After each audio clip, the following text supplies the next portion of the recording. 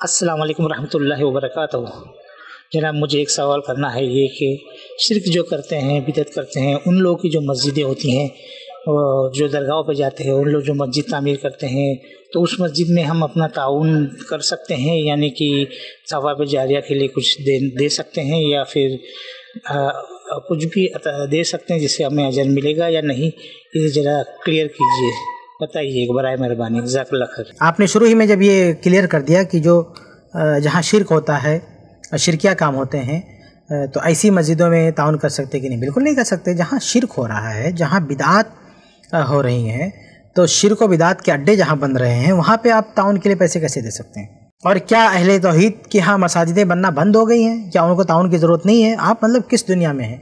अगर आपको ताउन करना है तो बेशुमार अहले तोहद की मसाजिद बन रही हैं, बनने वाले हैं। आप वहाँ पर ताउन कीजिए और आप खुद कह रहे हैं कि जहाँ शिरक और बिदत के अड्डे बनने वाले हैं, मस्जिद के नाम पे, और वहाँ पर ताउन करेंगे। तो ऐसी जगह पे ताउन नहीं करना चाहिए, जहाँ पे शिरक हो, बिदत हो, ऐसी जगह ताउन करना चाहिए जहाँ तोहद का बोलबाला हो, जहाँ सुन्नत की तालीम आम की जाए, वहाँ पर ताउन करना चाहिए। उम्मीद है कि आपका जवाब मिल गया होगा।